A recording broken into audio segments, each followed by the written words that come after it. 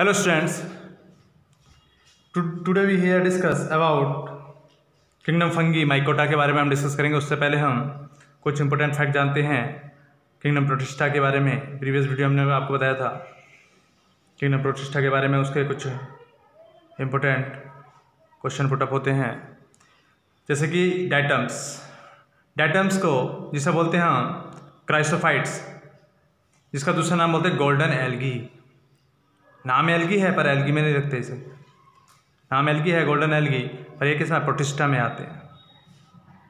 तो diatoms Gibbs ये क्या देते हैं? डाइटोमाइड देते हैं, जिनका यूज़ करा जाता है किसमें बायो कैटेलाइस्ट में। In the filtration of sugar को फिल्ट्रेशन करने में एल्कोहल में और एंटीबायोटिक्स बनाने में। किसका? डाइटम्स का। साथ ही साथ इस, ये सोर्सेस है किस चीज़ का? सोडियम सिलिकेट का। सोडियम सिलिकेट वाटर ग्लास जो होता है। इसी प्रकार से प्रोटिस्ट में हैं स्लाइम मोड्स स्लाइम मोड्स में जिसे हम कंज्यूम डिकम्पोजर प्रोटिस्टा भी बोलते हैं। कंज्यूम डिकम्पोजर प्रोटिस्ट भी बोलते हैं स्लाइम मोड्स यूग्लेनोइड प्रोटिस्ट क्या होते हैं? Form a small group of chlorophyllous protist एक ये बहुत स्मॉल ग्रुप है। जिसमें क्लोरोफिल पाया जाता है तो they resemble both animal and plant दोनों के इसमें करेक्टरिस्टिक्स आते हैं आपके प्लांट्स के भी और एनिमल्स के भी. यानी ये ऑटोट्रॉपिक भी और ये हाइड्रोट्रॉपिक है. तो in many of their characteristics euglena okay students next है हमारा जियाडिया इंटेस्टिनल्स जिसका नाम है grand old man of intestine भी बोलते थे. क्यों बोलते हैं? क्योंकि ह्यूमन इंटेस्टाइन में पैरासाइट के रूप में पाया जाता है कॉजेज होता है, जो डायरिया होता है। इसी के द्वारा होता है। ऐसी ट्रिपेनोसोमा गैम्बियंसिस ट्रिपेनोसोमा गैम्बियंस जिसे क्या बोलते हैं? अफ्रीकन स्लीपिंग सिकनेस होती है, यानी कि जो स्लीपिंग सिकनेस है, वो इसके द्वारा होती है ट्रिपेनोसोमा के द्वारा। इसका ट्रांसमिटेड के द्वारा होती है? फ्लाई के द्वारा होती है, जिसे बोलते हैं टेस्टिस फ्लाई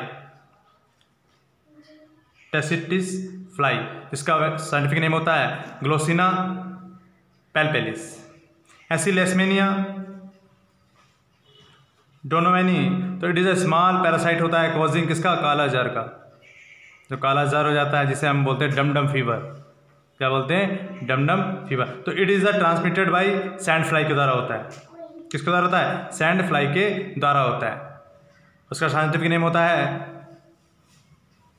फाइलेबेटोमस अर्जेंटिप अर्जेंटिपिस ठीक है? इसका साइंटिफिक नेम होता है। अब टुडे हम न्यू किंगडम कंटिन्यू करेंगे किंगडम फंगी या माइकोटा किंगडम फंगी या माइकोटा स्टूडेंट्स तो it is better called as kingdom of multi cellular decomposers भी बोल सकते हैं इसे। मल्टी सेलुलर डिकम्पोजर तो it contains non chlorophyllous multi cellular इसकी स्ट्रक्चर की बात करें तो वेरियस टाइप्स ऑफ़ फंगी होते हैं डिस टाइप्स के। जैसे आप स्ट्रक्चर में देख रहे हैं राइजोपस म्यूकर एस्परजिलस पेनिसिलियम अभी पेनिसिलियम का नाम हमने सुना भी होगा। जिसको डिस्कवर करा था अलेक्जेंडर फ्लेमिंग ने, और उसके द्वारा क्या बनी थी? फ़र्स्ट एंटीबायोटिक बनी थी। ठीक है? ऐसे पोलिपोरस लाइको पैराडन एगेरिकस पेजिजा और मोर्चेला ये हमारे वेरियस फॉर्म्स ऑफ़ फंगी हैं। तो this kingdom includes multi cellular heterotrophic organism which obtain nutrition by extra cellular digestion and absorption of organic matter मैगजिम कैसे होते हैं ये? मल्टी सेलुलर होते पर एक्सेप्शन केस होता है, एक वो कौन सा होता है? यीस्ट का स्ट्रेंट्स जो यीस्ट होता है, और यहाँ पर एक्सेप्शन केस होता है। आपने यीस्ट की स्ट्रक्चर देखे तो दिस टाइप की स्ट्रक्चर होती है उसके। ये यीस्ट की स्ट्रक्चर होती है दिस टाइप की। तो ये एक्सेप्शन केस होता है। ये कैसा होता है? यीस्ट। एक्सेप्शन केस है ये। अदरवाइज़ सारे कैसे होते हैं? मल्टी सेलुलर होते हैं। ये यूनिसेलुलर होता है। एक्सेप्शन है। क्योंकि हमने बताया आपको कि सारे के सारे क्या? Multi cellular this kingdom includes multi cellular पर ये क्या है? असप्शन केस है। ये कैसा है आपका? सिंगल सेल बॉडी होती है। होता है। यूनिसेलुलर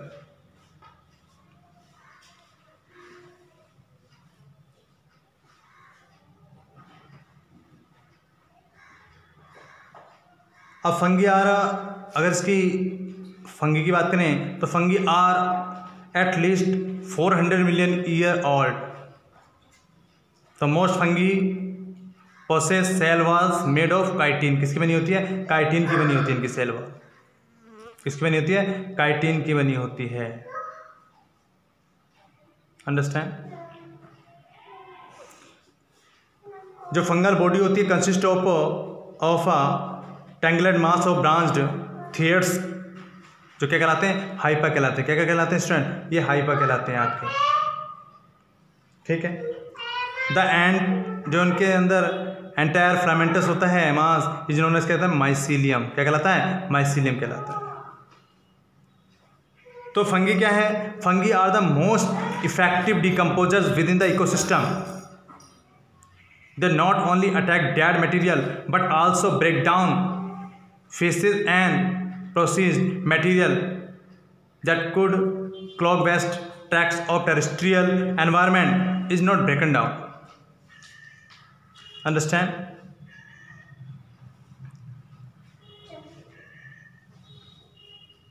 आप कुछ हार्मफुल भी होते हैं, कुछ यूजफुल भी होते हैं, कुछ फ़ूड के रूप में यूज़ होते हैं। जैसे यीस्ट आपको देखे तो ब्रेड बनाने में यीस्ट का यूज़ करा जाता है। अगर इसके, ये तो हमने आपको बताया था, इसकी नेचर और ग्रोथ के बारे में नेचर वगैरह सेल स्ट्रक्चर के बारे में। हम न्यूट्रिशन इन फंगी में देखें तो क्लोरोफिल क्या रहता है इसमें? अपसेंट रहता है। जितने भी आपके ऑल फंगी होते हैं, और ये सारे के सारे कैसे होते हैं? हेट्रोट्रॉपिक होते हैं। कैसे होते हैं? हेट्रोट्रॉपिक होते हैं। कुछ पैरासाइटिक फंगी जो एनिमल से होस्ट से अपना फ़ूड प्राप्त करते हैं तो क्या करते हैं? सीरियस डिज़ीज़ उत्पन्न करते हैं उस प्लांट्स और एनिमल से, जिन्हें वे अपना होस्ट बनाते हैं। डिज़ीज़ उत्पन्न करते हैं तो डिकम्पोजर का वर्क भी करते हैं। तो दी ये कुछ जो फंगी होते हैं, जो सेप्रोफाइटिक फंगी होते हैं, वो क्या करते हैं? डिकम्पोजर का भी वर्क करते हैं। रिप्रोडक्शन की बात करें इसमें तो fungi reproduce by vegetative asexual and sexual method सारे पाए जाते हैं। एसेक्सुअल मेथड यानी कि इसी के, जैसे कि आप, या तो किसके द्वारा होगा वो? जैसे कि आप देख रहे हैं एस्परजिलस में राइजोपस में तो ये जो स्पोर होते हैं, इसी के द्वारा क्या होता है? एसेक्सुअल रिप्रोडक्शन इसी के द्वारा नेक्स्ट बनते हैं।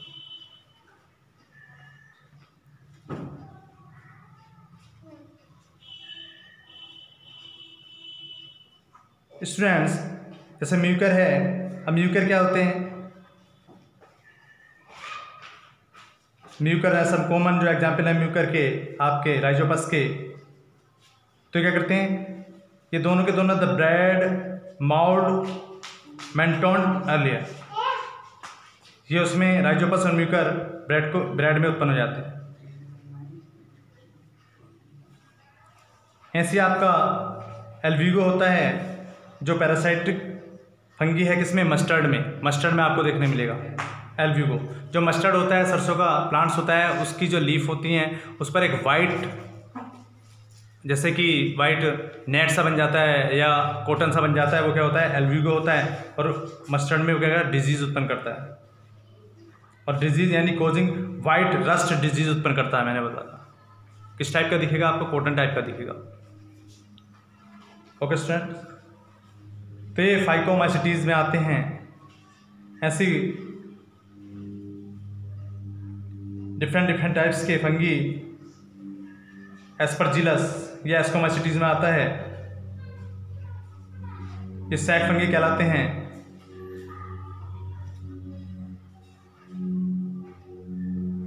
इसी प्रकार से अगर हम बात करें तो ये कैसे होते हैं? पोजनस पोजनस फंगस होते हैं। कैसे होते हैं? पोजनस में आते हैं। पोजनस फंगस होते हैं आपके।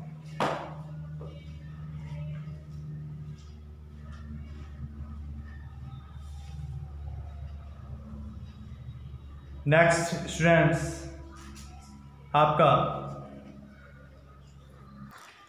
स्टूडेंट्स न्यूरो स्पोरा तो it is use by scientist द्वारा इसको यूज़ करा जाता है किसके लिए?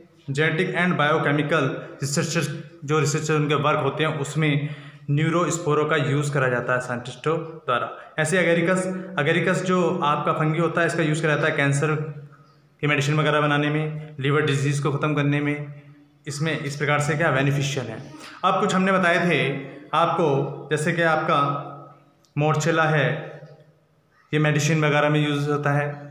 ऐसी पिजीज़ा इससे पिजीज़ा द्वारा क्या होता है एलर्जी होती है। एलर्जी यानी पॉइजनस है। कैसा है ये? पॉइजनस है। ऐसी आपका लाइको पैराडन ये भी क्या है? पॉइजनस है। क्या है ये पॉइजन ये आपको देखने मिल जाएगा किस पर? रेनी सीज़न में आपको देखने मिल जाता है। आपके आसपास जो बुट वगैरह पड़ी रहती है लकड़ियाँ पड़ी रहती है, उस पर आपको देखने मिल जाएगा। गुच्छों के रूप में होता है ये। जैसा कि अमरेला के पर एक लेयर के रूप में होता है। लेयर पे लेयर होती है। तो ये हमारे थे कुछ बेनिफिशियल ऐसी पेनिसिलियम मैंने आपको बताया एंटीबायोटिक फ़र्स्ट एंटीबायोटिक बनी थी पेनिसिलियम के द्वारा, जिसको किसने दिया था? अलेक्जेंडर फ्राइमिंग द्वारा एंटीबायोटिक बनाई गई थी, फ़र्स्ट एंटीबायोटिक पेनिसिलियम द्वारा। तो ये था हमारा स्टूडेंट्स फंगी नेक्स्ट वीडियो में नेक्स्ट टॉपिक के लिए करेंगे। Thank you.